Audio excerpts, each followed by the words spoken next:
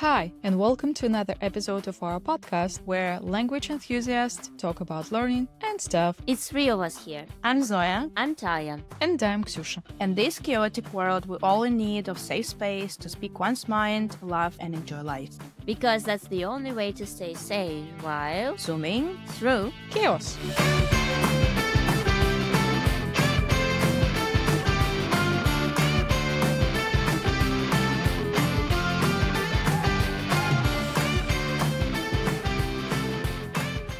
Okay, we are on. Let's go.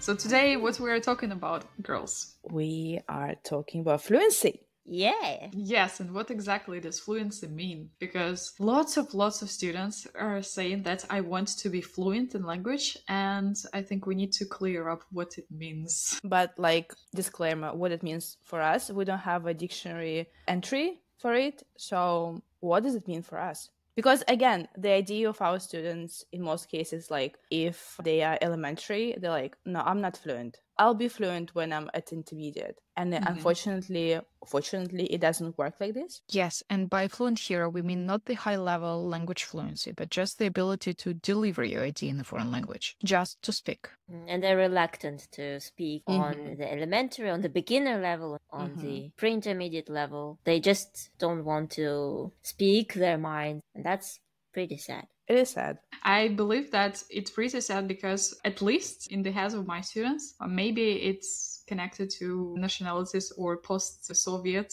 territories. I believe that in the heads of my students, in their mind, they just say that, okay, I need to die inside some books, get grammar out of there. And then after a couple of years, maybe five years, I will start speaking maybe when I get to the intermediate level, but not earlier, please, because I'm Mhm. too afraid. And if it's elementary, then it doesn't mean that I am ready to speak. I need to be silent and keep silence. Mhm. it's so true Or maybe I've no words, I don't know any words in English, and I keep forgetting this vocabulary every time, and I don't want to speak because I can't speak the way I want to. Mm-hmm. Oh, the way I want this is a good point because usually they have like this ideal person I know in their minds. Maybe it's actually somebody famous they heard, or maybe it's even their teacher, and they're like, "Oh no, I want to speak like this," and it's a good thing to have some kind of,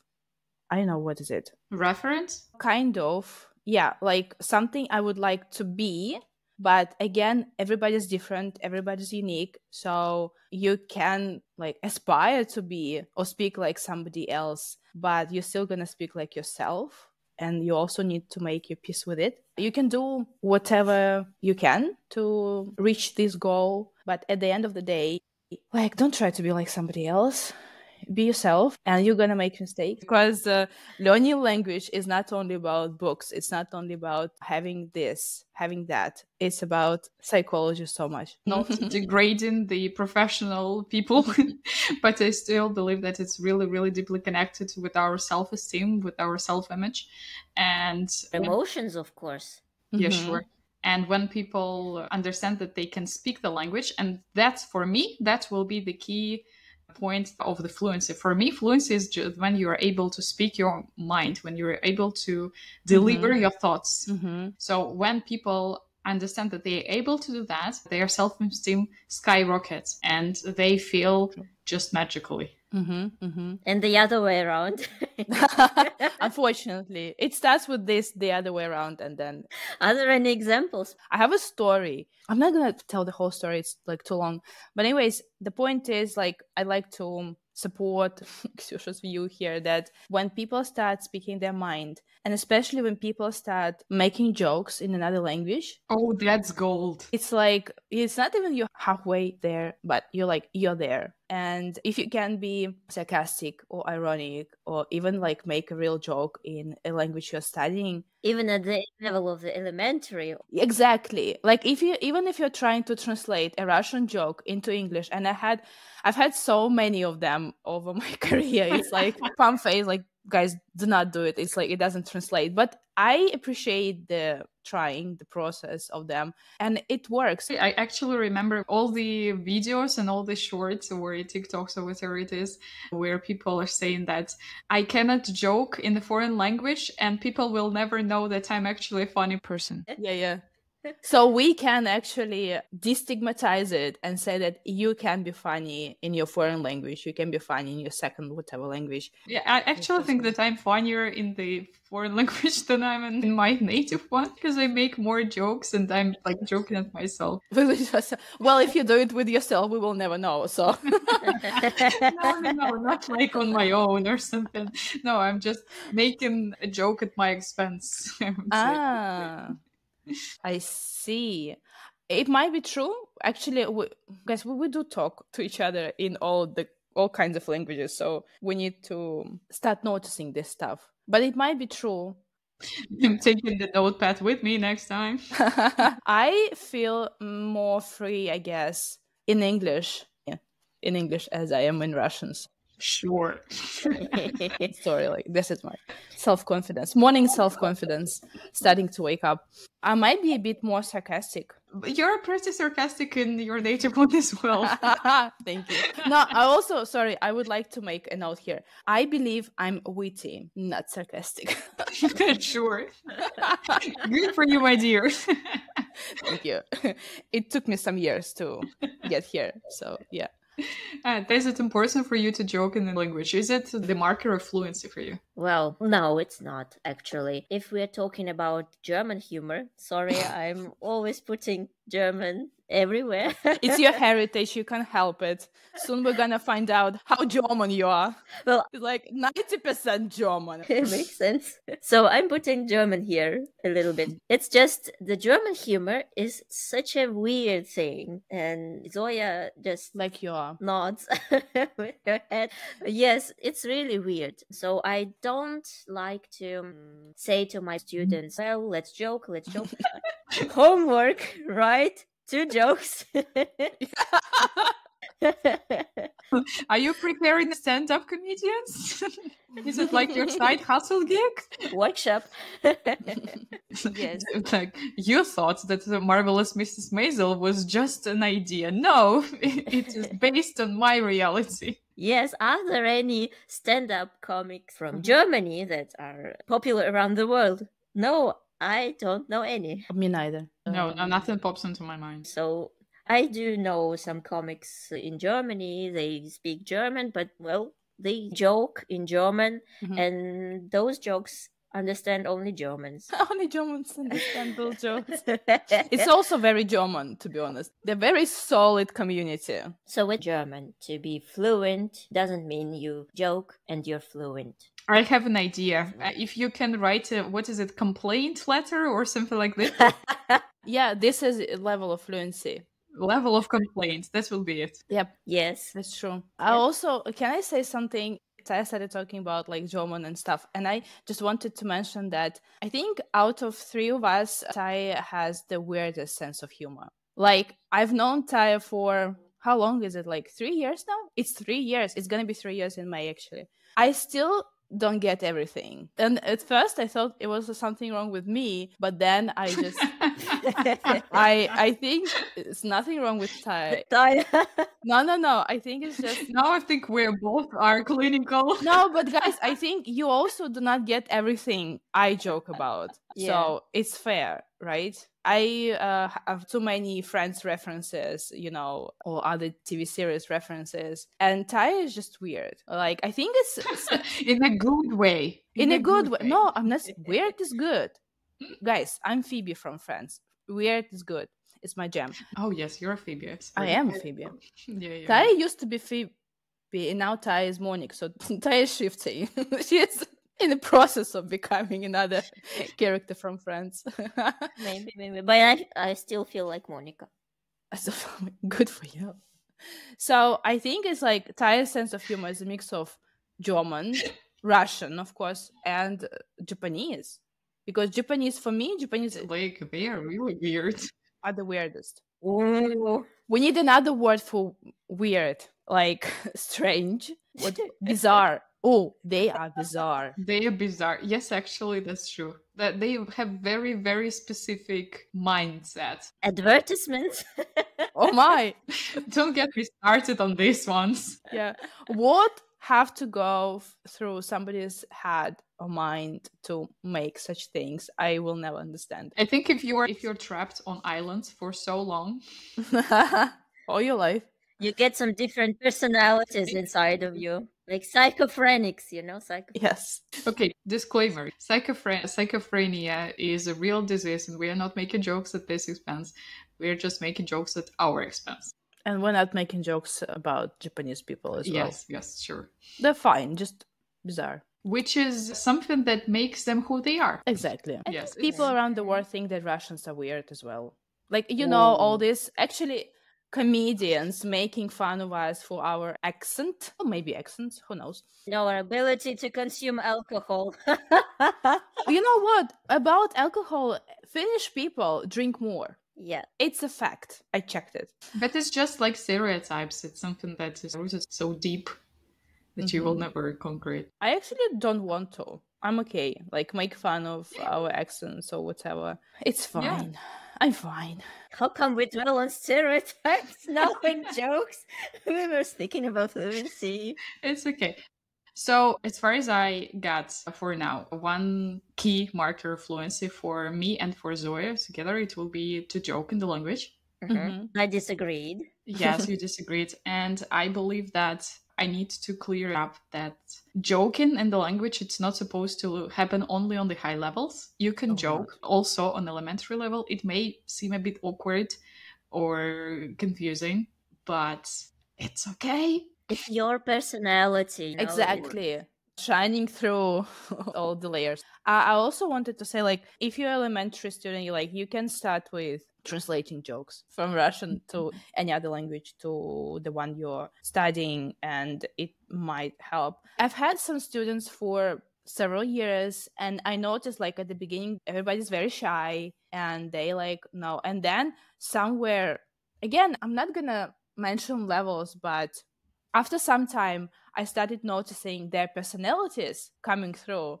And i was actually quite shocked with my one of my students because i didn't see him as sarcastic dude at first but then as he like gained more confidence i guess and okay he became a bit more fluent he became very sarcastic. Started making some jokes and i was like what? Didn't see it coming so yeah it might be a surprise for teachers I also was thinking about not only the jokes, but I remember that one of my students, he came to me around half a year ago. And at the very beginning, at the very first lesson, I told him that he's going to speak from the very first lesson. And it may be awkward uh, for some time, but it's okay. It's just the learning process. And he was so nervous. He said to me that he wants to speak his mind. He wants to say the exact thought that is on his mind, and he can't because he doesn't have enough vocabulary for that. And I was trying to explain to him, and I think I succeeded, that it's okay to use some synonyms and it's okay to say not all the Mhm. shades of the meaning but just the main idea for now to start from there and then as you progress you add some shades you add some special effects we'll call it this way. And he eased up and he relaxed a bit and he started to deliver just the main idea. And after that after some time he started to add the words that's what we have been studying and then it all worked out. So mm-hmm. i want to say to all the people who mm, are afraid to not to deliver their thoughts exactly it's okay. You can just add some more details later or maybe the person will ask if he got it right and it's okay because the communication is the key. We need the language to communicate. Exactly. Yes, that's the hardest thing for me as a teacher. I've got some of the students reluctant to speak, but I'm trying to encourage them to speak on the level they they already mm, obtained. I mean, uh, they have already got. For example, he or she says, "Well, I can't put it." Well, put it in a different way. Say it easier rather than translating it exactly from your mother tongue the exact phrase into the foreign language phrase. Mm-hmm. That's that's not possible even sometimes. Mm-hmm. Direct translation is a whole other story. Oh my, oh my. I actually wanted to add to both your points that I know that I mentioned like translating jokes from Russian to your language you're studying or from your mother tongue to a language you're studying. It's just an example. I'm actually quite against a grammar translation approach as a whole, as I'm a victim of it. Back you up here. It's not that I do not use Russian at all in my uh, classes. It happens, especially at elementary or pre-intermediate although it also depends on a person. For some people it's really difficult to speak only foreign language in classes at the beginning. So like i see them struggle and i like say something in russian and they relax and i can see it and so like okay but then at like starting from intermediate it's pretty much all english sometimes i can translate some interesting phrases like oh you know and it sounds like this in russian and like oh cool and it helps them remember it because they have this kind of association now so where was I going with it? Sorry.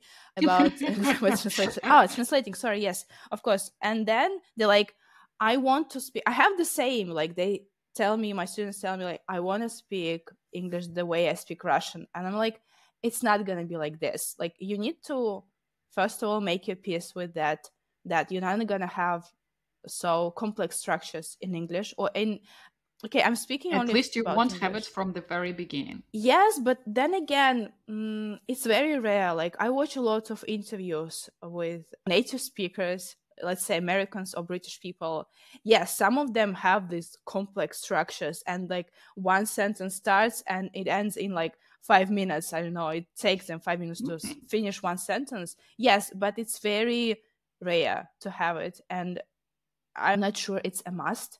So if you can communicate your idea to another person, it doesn't matter how complex your structures are. So I agree with both of you, and we need to get it to people that it's okay. The way you speak foreign language, it's not going to be the same you speak your mother tongue. And it's okay. That's normal. And it's fine. Yes. I love it when it's like, I actually, girls, this is a question for you. Do you have it that I can't even tell if I'm translating from Russian in my head or it's like mix of Russian and English or it's just English when I speak English. For me, I've discussed it with one of my students because mm-hmm. she said that at some point she understood that she is translating, at some point she understood mm-hmm. that she is not. And we discussed it and I got some reflection.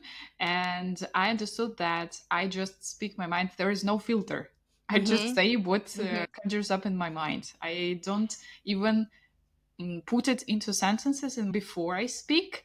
That's why maybe I speak so fast most of the times um, because I have no filter. I just uh, think I have the thought and I deliver it immediately. I don't register it to the language. I just kind of have the switch in my head and I switch into one language and then I go with it. And then I have the problem with the switch from Spanish because once I hear one Spanish word, I have the switch to it on Spanish and I can't turn it back into English or Russian, but that's other story. Same for me. But I uh, noticed that well as some students struggle and i have to like speak maybe a bit more slowly in english with them. So and i try i can hear myself start like translating something from russian like how can i like make it easier for them? And i'm like oh this is a no for me because it uh, slows down my speech. Like even now like there are no russian thoughts english english only. But again it took me a long time to come here because I remember people like, oh, just think in English. I'm like, what the fuck? How is it possible? like, I was a student at that time. Was like, it's not possible. But then it kind of just happened. I guess you just acquaint at some level when you are comfortable enough. First of all, that's actually interesting. So if you are trying to slow down your speech, kind of translation happens. Yep. Yep. That's interesting. That is the same for you? No, I don't know. First of all, Taya, what about German? Like we're talking about English, English, English. What about German? Because this is your main foreign language. Yeah.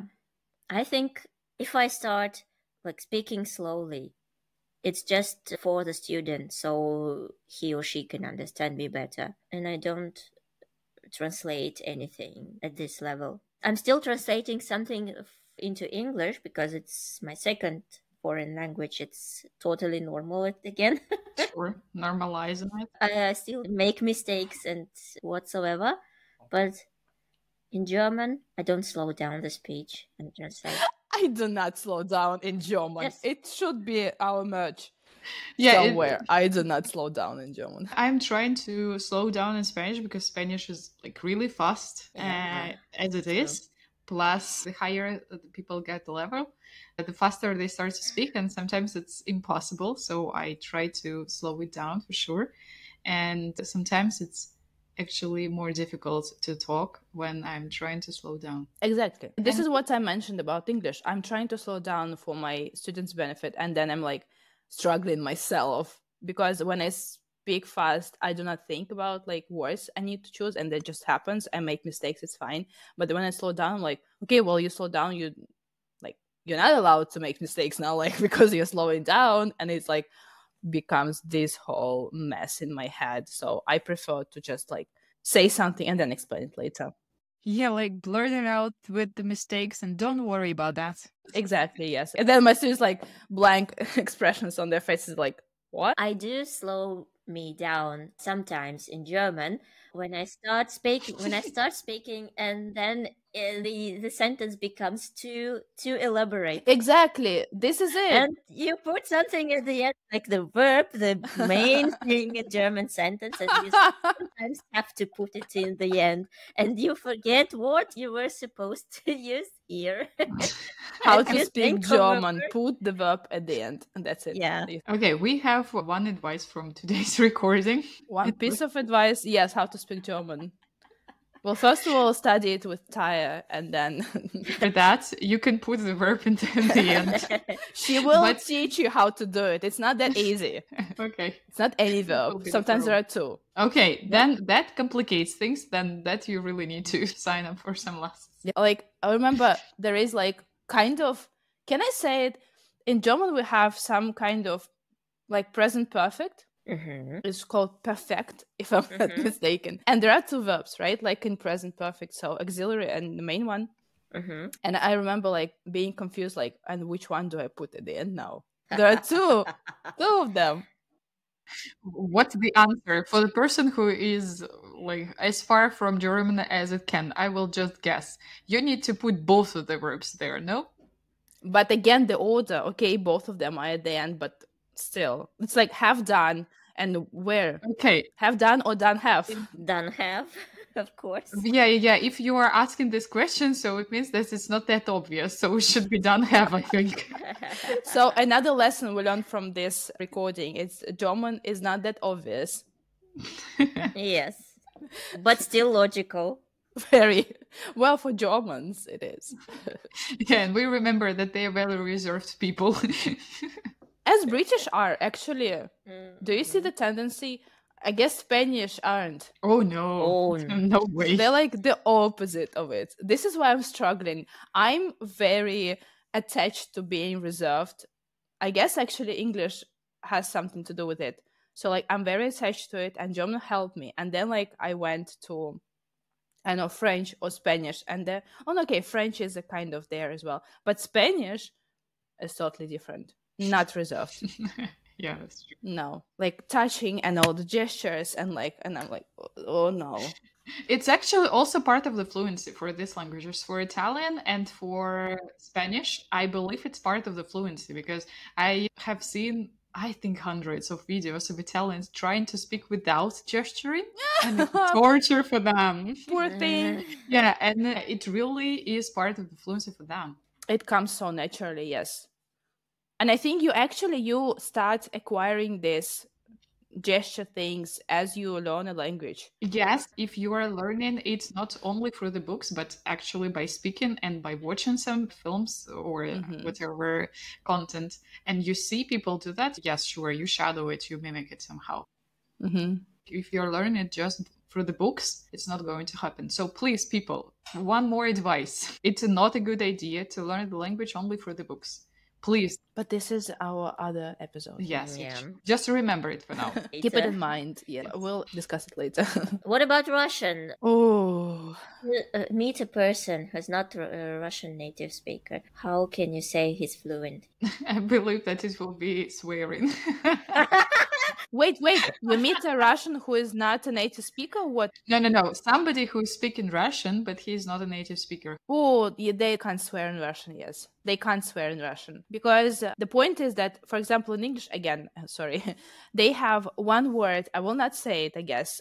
You've already said it in this recording. I'm oh, sorry. So it's the F word. No. F no. so the F word, and they have it for everything, and they like conjure it, or what's the word? I hate this word. So like they make it a verb, and then they make it past tense with it, and then it's an adjective somehow. Then it's a noun, and when they It's very versatile. Very, which is comes in handy, and it makes sense in English. And it actually can be like as an insult, but also a compliment. The F word? Yes, when when it's for Mhm. example Ah, yes, yep. You're like, uh huh, amazing, sure, why not? Mhm. But in Russian, we have different words for different situations, for insults, for compliments as well, actually. Expressing emotions, Yeah, and it, positive, negative. but it's also, it's very difficult for Russians. Like sometimes when my students like ask me like, and how do I like say it just for fun, you know, in English, like you swear words. I'm like F word, and they're like for this F word, and they're like everywhere. I'm like yes. so yeah, you see English is that easy. Just one word for everything. We need to destigmatize the fact that English is difficult. It's not, guys. Sure. I don't remember if we mentioned it in our previous episodes. We can mention it in every episode, Oh, true. Okay, English is easy. You go and try learn another foreign language, especially Korean or Japanese Try Japanese. Japanese. yeah, you're gonna come back crying. yes. Oh, yes. And Taya is speaking from her personal experience because she's learning Japanese, so believe that. I counted those tears. And actually, speaking of fluency, uh, correct me if I'm wrong, but I think it takes longer to become kind of fluent in Japanese yes. than it takes in English, right? Yes, yes. It's it's just another world actually because they have also those levels, but they somehow a- attached to those European levels, but they're totally different, and you uh, need more time to obtain one level, more time and more mm, skills Mhm. and you have to learn vocabulary you have to learn hieroglyphs that's the whole other story so you don't have to learn hieroglyphs in english And as far as I remember, there are like two alphabets, right?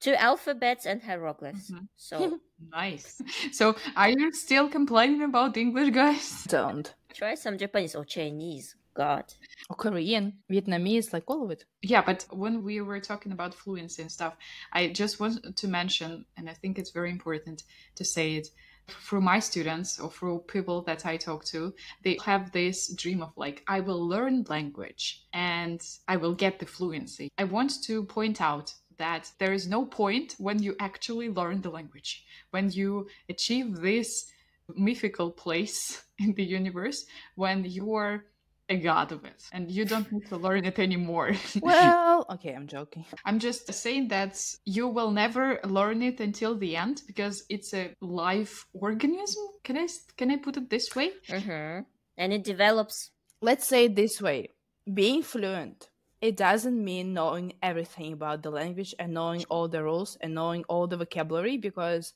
I've been studying, learning, whatever you call it. Like, I've been in a relationship with English for a long time and I still learn some words, some new words almost daily, and it's fine. And you still consider yourself as being fluent? I am fluent. Sure, sure. well actually i wanted also to say that fluency doesn't even mean you speak the language Wait, what what are you talking about? You write in the language. You write Mm, emails. ah. Fluency in writing is also important. Wait a second. Wait a second. I would not agree. I think here. No, I think speaking is a crucial part of being fluent. Writing is not for some reason, and you guys gonna like say that writing is shit here. But if you can communicate your idea, but then you can't write an email, you're still fluent. But if you can write an email, but you can't speak it, no, I do not consider it. Maybe I'm wrong. Again, we need an dictionary entry here. But no, if you can only write, and I had so many students at the beginning who were like, yeah, yeah, I can like write something. I'm like, can you speak at What? Like, can you explain what you've written? No.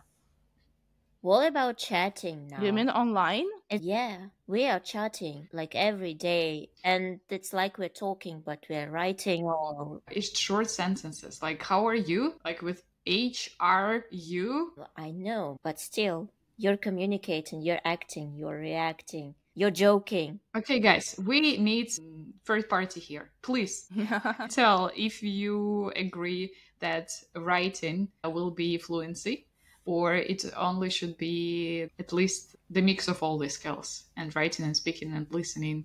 For me, uh, it's just my personal view on that. The language is for communication, and you need to speak it.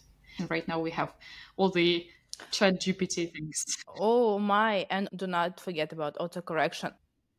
I think it might be the case that you have to be as fluent in writing as you are in speaking, but at the end of the day, if you just type it, and like sometimes writing, like you can cheat for sure because you can look up something in a dictionary, look up something everywhere, and it's kind of cheating. But then when you speak, you can't do it basically. You're talking to a person, you're like, oh, sorry. Well, you can, it's not forbidden, but you will not do it because speaking is such a process where you just, it's like a flow, you know? I'm still at my point of view. Sorry, guys. Well, it's fine. It's okay. Let's agree to disagree. Totally yes. fine. I think we need to wrap it up. Yep. Uh, So let's uh, say, what does fluency mean? So many different things. It's, Mhm. We just found out. So basically, it's the ability to communicate your idea Yes. and to have the conversation, and to be able to speak your mind. and understand others. This actually we didn't mention it, sorry, but listening is also important because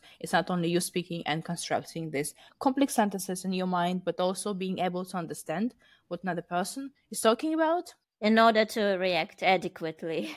Yes, reaction and being an active listener, not just like listen and go with your idea, but Mm-hmm. actually react to something like this. Have some hygiene here. This is important. Yeah. And the last question At what level will I be able to speak? At any level. If you can construct, I know, five words into one sentence, good for you. Go on. It's just different stuff you can do at different levels, but you're still being fluent. So if you can communicate your ideas elementary, like you can ask somebody how to get to the bank, to the nearest bank. Or even you can answer the question, How are you? I'm fine, thank you. And you, it's already fluent. Come on, you asked back. yeah, it's kind Yes. of a joke, but yeah. Yeah, so basically, you can speak at any level, and you should speak at any level. It just will be different how much Mhm. you can speak, and how many shades, how many structures you can use there, and Mhm. how beautifully it will be put. That's the difference. So guys, thank you. Thank you for listening. As always, you can write your stories or your questions to our Email. you can join our Telegram channel. subscribe to our YouTube channel, to our show on podcast, and see you around. See you guys. Bye.